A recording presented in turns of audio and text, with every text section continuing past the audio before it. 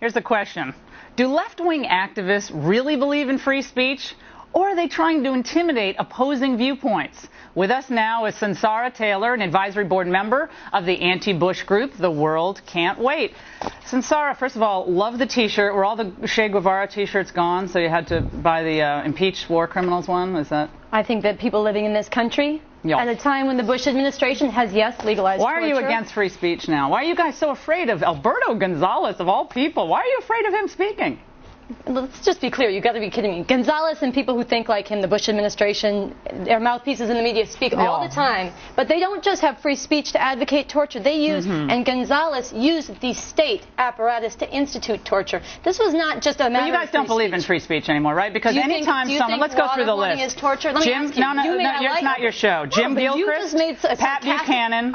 We're going down the list, okay? You ready? Jim Gilchrist, Pat Buchanan, David Horowitz, Ann Coulter, Bill Kristol, CIA recruiters, military recruiters are Do you think routinely are is torture? routinely insulted and intimidated They- on they college are campuses. Are you tonight going to. They are come out? a part of are you, Are you going to come out and say no? people out of the segment's going to end now if you don't night. let me finish because this is what What? you do on college campuses. No, Your groups, just wait one second, then you'll have plenty of time I'm to speak.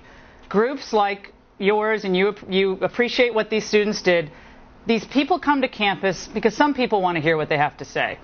If you want to protest, protest outside. Don't interrupt the speeches. It really seems that the left, which which used to be all for free speech and the ACLU's free speech, everyone gets a say.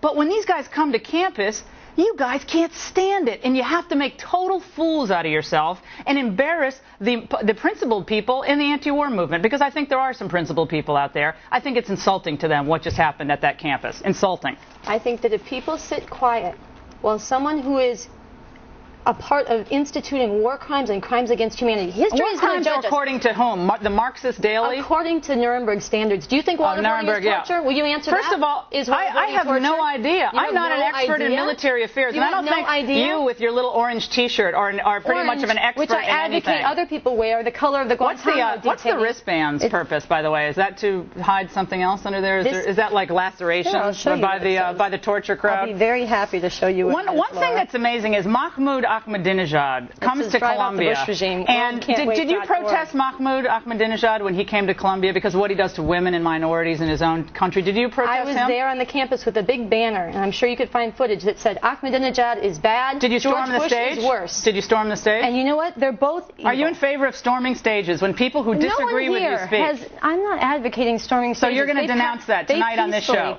They peacefully stood That's up That's peaceful? Did you see that videotape? Are you kidding me? And they demonstrated waterboarding. I applaud. Let me tell you this. I applaud a student Will you denounce willing to rushing undergo. stages I'm right on this show tonight, or no? I'm Will you not? applauding the student who underwent So you will not denounce- you will not denounce rushing a stage. I denounce people who sit back silent while war crimes and crimes against humanity are being waged in our names. And no, this does not hurt the anti-war movement. You know what Oh, hurts really? the anti-war movement? What about the good news coming out of Iraq? Are you what- upset about the good news coming out of Iraq? Are you Four happy about million it? people displaced, 600,000 dead, and you talk cover about the New York Times on- today. Are you, or, or is Yeah, that part of the most vast people- right-wing conspiracy, you know the New York Times? The New is that part Times of it? article, it detailed how most people are not able to come home.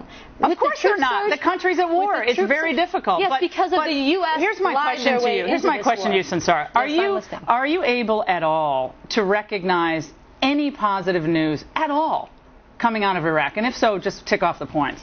I think that when people stand up and resist the crimes of this government. So the answer is no. No good news coming out of that- Iraq. That's worth troops- even saying. that the troops are carrying clap- out. clap about. Even no, be I happy as I an will not applaud the war crimes being carried out by these troops and in our names. No, I will not applaud them. Do you, do you think the military is filled with honorable, patriotic people who want the best for America, want the best for people across the globe? Or you, know really don't like the military, you do you? always want to make it about who is on the ground. I know plenty of soldiers who come back and Really? talked about against. I went on tour with some of them who I'm are sure- against the I, war. I'd like you to take this little act with that T-shirt to uh, Bagram Air Force Base, where Bill O'Reilly just was. See how see how well you're received with our troops who are actually doing the heavy lifting that protects your Who right to make a total fool out of You know yourself, who were which those kids in Florida did. War against that we're there They being protect your right to speak out. You should thank them because they actually protect your right to wear the armband, and, wear the T-shirt, and goof around. Here you are It's admitting that the rights that people have in this country rest on the boot that the You're U.S. afraid of you're afraid of. Alberto Gonzales speaking. Do you, You know how know something? ridiculous that is? Do you know how Again, this silly is not, that looks? This is not a free speech issue. This is about No. war crimes and crimes against humanity. And you know how history will judge you. You say I look silly on Fox News Yeah. you're spinning. Oh yeah, okay, I'm not spinning. Look, I said it's very look difficult like in Iraq, but I am actually able to announce good news. One of the people who We're done. I justified war crimes it. and Yeah. crimes against You- you- humanity. you blame And your it's time- country for everything, it's and it's in this end. country to stand, Stand up for your to country. You're not. You're embarrassing criminals in the yourself. White House. Next, yes, Jerry. Thompson.